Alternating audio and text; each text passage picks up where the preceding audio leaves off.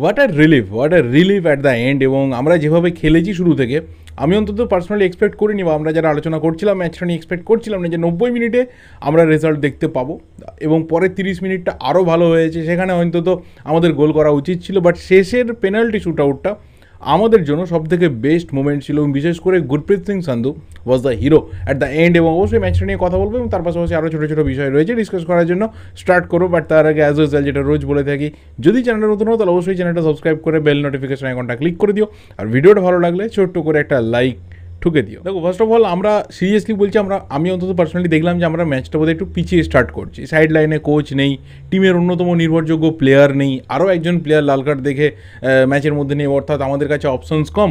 তো আমি অন্তত পার্সোনালি দেখলাম যে কোথাও একটা আমরা মেন্টালি আমরা একটু পিছিয়ে রয়েছি এবং শুরু থেকে সেই জায়গাটা হয়তো লেবাননও বুঝতে পারছিল এবং লেবানন কিন্তু শুরু থেকে সেটাকেই কাজে লাগানোর চেষ্টা করেছিল অ্যাটাক অ্যাটাক অ্যান্ড অ্যাটাক দিয়ে এবং প্রেশারটা ওরা শুরু থেকে জারি রাখতে চেয়েছিল এবং চেয়েছিল যে শুরুর দিকে যদি একটা গোল তুলে নিয়ে যায় তাহলে কিন্তু এই টিমটাকে একটু বেগ দেওয়া যেতে পারে। কারণ অফেন্সিভলি যে আমাদের খুব একটা ক্রিয়েটিভিটির বিরাট চান্স থাকছিল লেবাননের এগেনস্টে এর আগের ম্যাচগুলোতেও সেটা বলব না। আমরা গোল করেছি স্টিল দুটো ম্যাচের মধ্যে একটাতে আমরা গোল করেছিলাম বাট দেখা গেলো যে লাস্ট তিনটে মিটের মধ্যে কিন্তু আমরা রেগুলার গেম টাইমের মধ্যে আমরা গোল করতে পারিনি। অবশ্যই লেবানন একটা ভালো প্রতিপক্ষ, শক্ত প্রতিপক্ষ আর সাফের নিরিখে মানে সাফের যে দেশগুলো রয়েছে তাদের নিরিখে কিন্তু ওয়াফ মানে ওয়েস্ট এশিয়ান ফুটবল সেখান থেকে যে দেশগুলো আসে তারা অবশ্যই ভালো টিম হয়ে ওঠে। আর অবশ্যই সাফের যে রেকর্ডটা আপাতত ইন্ডিয়ার সামনে রয়েছে সেটা হচ্ছে ন নম্বর ট্রফি জিতে নেওয়া, আটটা অলরেডি আমরা জিতেছি এবং নাইন্থ কনজিকিউটিভ ফাইনাল আমরা খেলতে চলেছি। এবং তার মধ্যে আমরা বোধহয় তিনবার হেরেছিলাম, পাঁচবার জিতেছিলাম।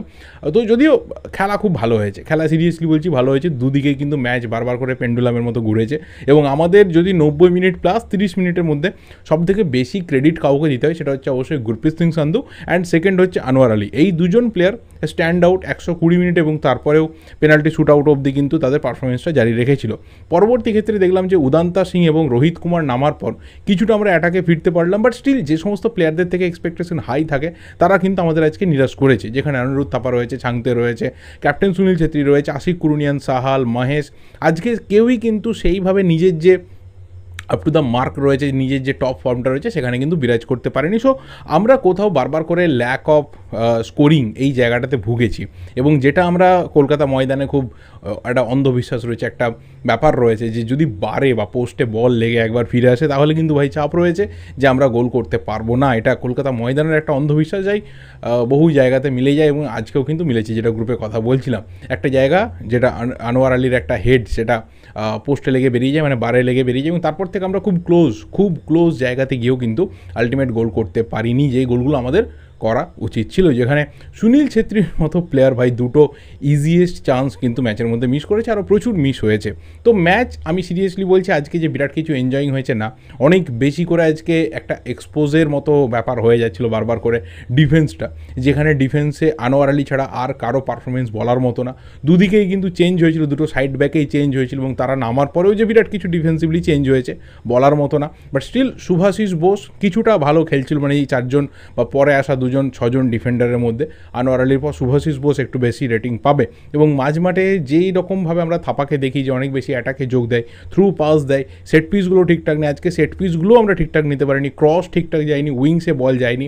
তো আমাদের কিন্তু ভাই প্রবলেম প্রচুর হয়েছে। এটা মেবি হতে পারে যে লাস্ট ম্যাচ তার আগে যেভাবে আমরা মেন্টালি বহু প্রবলেমের মধ্যে দিয়ে গেছি, মাঠের মধ্যে সাইড লাইনে কোচ নেই, এগুলো একটা করে ফ্যাক্টর হতে পারে। তো আমার মনে হয় যে ফাইনাল কুয়েত ম্যাচ সেটা একটু অন্যরকম হবে। এবং আজকের যে ভুল ত্রুটিগুলো রয়েছে সেইগুলো যদি রিপিট হয়, তাহলে কিন্তু কুয়েত সিরিয়াসলি বলছি, চাপ দিয়ে দেবে। কারণ কুয়েতও কিন্তু চাইবে। লাস্ট ম্যাচটা যেটা তারা জিততে পারেনি ড্র করেছে, তাদের একটা ব্যাপার রয়েছে যে আমরা ইন্ডিয়ার থেকে কোথাও ভালো টিম তারা বিশ্বাস করে, বহু জায়গাতে তারা বলেও রাখে। কিন্তু সেটাই তাদের একটা বড় ফ্যাক্টর হবে যে তারাও সেই ম্যাচটা কিন্তু জিততে চাইবে এবং আমরা ঘরের মাঠে আমাদের ন নম্বর ট্রফিটা জিততে চাইব এবং সেই জায়গাটা সবাই চাইবে যে কখনোই আমরা কুয়েতের কাছে যেন না হারি। তো সেখানেই একটা কোথাও মেন্টালি ডিফারেন্সের দরকার রয়েছে এবং পারফরমেন্সেরও একটা ডিফারেন্স দরকার রয়েছে। সেটা হয়তো আগামী দিনে হবে এবং যেখানে যেখানে ভুলভ্রান্তি রয়েছে সেগুলো শুধরেই যাবে। আর আজকের ম্যাচ কিন্তু অনেক কম টেম্পটিং হয়েছে। অনেক জায়গাতে লেবানন বাজে বাজে ফাউল করলেও কিন্তু আলটিমেট আমাদের প্লেয়াররা খুব বেশি মাথা গরম করেনি। কারণ সেটা তার আগের দিনকে দেখেছে যে আলটিমেট কিন্তু রেজাল্টের উপর একটা বড় ফোকাস ফেলে দেয়। সেটা রেজাল্টের উপরে কিন্তু এফেক্টটা আসে। তো সেখান থেকে আমাদের প্লেয়াররা আজকে ওই ঝামেলারগুলোতে আননেসেসারি পা বাড়ায়নি, তো এটা খুব ভালো হয়েছে এবং কুয়েত ম্যাচটাও এইভাবে না পা বাড়িয়ে অন্তত ম্যাচটাকে টেকনিক্যালি হ্যান্ডেল করে আলটিমেট আমরা জিতেই মাঠ ছাড়বো, এইটুকু আশা রেখেই আজকের এই ম্যাচ রিভিউটা এখানে স্টপ করলাম। এরপর যদি কিছু ট্রান্সফার রিলেটেড কথা বলতে, তাহলে দেখো আপাতত ইস্টবেঙ্গলে যেটা বিষয় রয়েছে, আজকে ছোটো করে শুধু ইস্টবেঙ্গল আর মোহনবাগানকে নিয়েই বলব। ইস্টবেঙ্গলে যেটা বিষয় রয়েছে, সেটা হচ্ছে যে প্রভসুকান সিঙ্গিল আগেই জানা গেছিল যে তার সাথে কিন্তু যে ভার্বাল এগ্রিমেন্ট বা personal terms and conditions agreement সেটা কিন্তু অলরেডি ডান হয়ে গেছিল। সেইখানে কোথাও প্রফেসুকান সিঙ্গেলের অসুবিধা নেই ইস্টবেঙ্গলে মুভ করতে। এবং ইস্টবেঙ্গলও চাইছে বারবার করে এই যে ফার্স্ট চয়েস গোলকিপারটা হবে সেটাকে সিল করে নিতে। এবার বিষয় একটা জায়গাতে আটকে রয়েছে, সেটা হচ্ছে কেরালার সাথে যে ট্রান্সফার ফি নিয়ে নেগোসিয়েশন সেটা কিন্তু খুব বেশি এগোচ্ছে না। এবং এখানে ইস্টবেঙ্গল ম্যানেজমেন্ট তারা হয়তো আগামী কয়েকদিনের মধ্যে একটা ডিসিশন নিতে পারে যে মোটামুটি আরও একটু যে এখানে অফারটা রয়েছে, সেই অফারটাকে ইনক্রিজ করা। মানে দেড় কোটি তো কখনোই না বাট স্টিল তার ধারে কাছে একটা অ্যামাউন্টকে অন্তত ইনক্রিজ করে নিয়ে গিয়ে যদি এই ডিলটাকে ফাইনালি সিল করা যায়, কারণ ইস্টবেঙ্গলে কিন্তু ডেসপারেটলি গোলকিপার পজিশনে প্লেয়ারটাকে লাগবে এবং সেটাকেও লং টার্মের বেসিসে তো কখনো এই প্লেয়ারটাকে এতটা কাছাকাছি আসার পর কিন্তু ইস্টবেঙ্গল লুজ করতে চাইছে না। তো সেখানে হয়তো আগামী এক সপ্তাহের মধ্যে একটা একটা ক্ল্যারিটি আসবে যে, আদৌ প্রভসুকান সিং গিলকে কেরালা ব্লাস্টার্স তারা ইস্টবেঙ্গলে দেবে কি না তাদের যে আস্কিং প্রাইস রয়েছে সেখান থেকে কম করে, কিন্তু ইস্টবেঙ্গল কিন্তু যথেষ্ট পরিমাণ অপটিমিস্টিক যে তারা এই ডিলটাকে ফাইনালি ডান করতে পারবে এবং কালকের যে মিটিং সেই মিটিংয়ের পর কিন্তু এই যে ব্যাপারটা, এই ব্যাপারটা অনেক বেশি করে মাইলেজ পেয়েছে এবং আস্তে আস্তে এটা আরও বেশি মাইলেজ পাবে। এর পরের বিষয়টা হচ্ছে জায়েস রানে জায়েস রানে সম্ভবত বেঙ্গালুরু থেকে একটা মিউচুয়ালি কন্ট্রাক্ট টার্মিনেট করে বেরিয়ে আসতে চাইছে। কারণ আপাতত দেখছি যে বেঙ্গালুরুতে যেভাবে মাঝমাঠে ভিড় রয়েছে মানে সুরেশ রয়েছে রোহিত রয়েছে বেস্ট চয়েস মিডফিল্ডার তারাই ম্যাক্সিমাম ম্যাচেসে গেম টাইম পাবে এবং জয়েস রানে ম্যাক্সিমাম জায়গাতে হয়তো কম গেম টাইম পাবে বা যেগুলো খুব মাইনর ম্যাচেস রয়েছে সেখানে তাকে ইউজ করা হবে।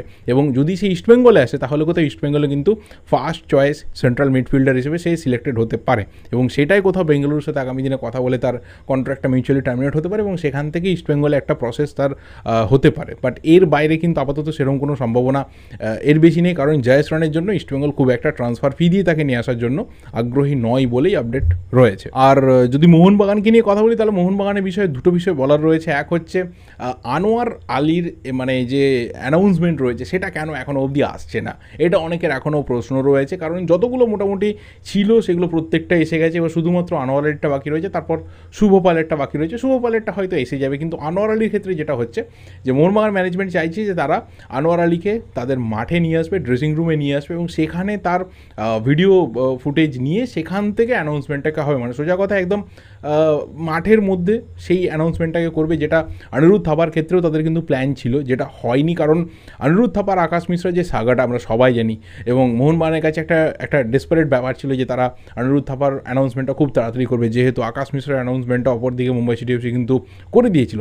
তো সেখানেই কোথাও অনিরুদ্ধ থাপার ব্যাপারটা খুব ফাস্ট হয়ে গেছিল এবং তার আপাতত যে টিম হোটেল রয়েছে, সেই টিম হোটেলেই সেই ভিডিও শ্যুটটা হয়। তো যেটা আনোয়ার ক্ষেত্রে রয়েছে, কোথাও কোনো যেহেতু চাপ নেই, কোনো তাড়াহুড়ো নেই, তো সেটা কিন্তু মোহনবাগান মাঠে, মোহনবাগান ক্লাব বা ড্রেসিং রুমের মধ্যেই হওয়ার সম্ভাবনা রয়েছে। তো তার জন্য আমার মনে হয় যে একটু ওয়েট করতে হবে।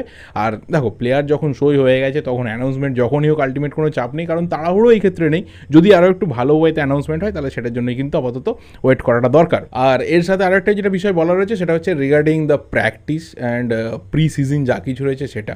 একদিকে আমরা অলরেডি জানি যে মুম্বাই সিটি এফসি তারা কিন্তু থাইল্যান্ডে যাচ্ছে। তো বহু মোহনবাগান সাপোর্টার আপাতত একটা সোশ্যাল মিডিয়াতে কমেন্ট করতে শুরু করে যে তারাও যদি বিদেশে যেতে পারে, তো এটা যেন দেখা হয় ম্যানেজমেন্টের তরফে। যদিও সেটা হচ্ছে না, কারণ কোচ বা টেকনিক্যাল ডিরেক্টর এবং ম্যানেজমেন্ট তাদের প্রত্যেকেরই আপাতত ইচ্ছা রয়েছে। যেহেতু আমাদেরকে পুরো সিজন খেলতে হবে ইন্ডিয়াতে তো তারা সেটা কোথাও চাইছে না যে অন্য কোনো দেশে গিয়ে, অন্য কোনো এনভায়রনমেন্টে গিয়ে তারা প্রি সিজনটা করুক। এখানেই প্রি সিজন হবে এবং সেটা কিন্তু ফিফটিন্থ অফ জুলাই থেকে স্টার্ট হয়ে যাবে। আর হ্যাঁ এফসি গোয়া তারা পাওলো রেট্রে তার অ্যানাউন্সমেন্ট আজকে করে দিয়েছে। এটা আগে বলা দরকার ছিল মিস্টেক করে গেছিলাম এবং দু বছরের চুক্তি মানে দু হাজার পঁচিশ সাল অব্দি পাওলো রেট্রেকে তোমরা এফসি গোয়া জার্সিতে দেখতে পাবে। তো ব্যাস কটা বিষয় ছিল এই ভিডিওটা। এই অবধি ভালো লাগলে লাইক করো কমেন্ট করো শেয়ার করো। দেখা হবে পরের ভিডিওতে। ততক্ষণ অবধি চ্যানেলটা সাবস্ক্রাইব করে দিও thank you goodbye and good night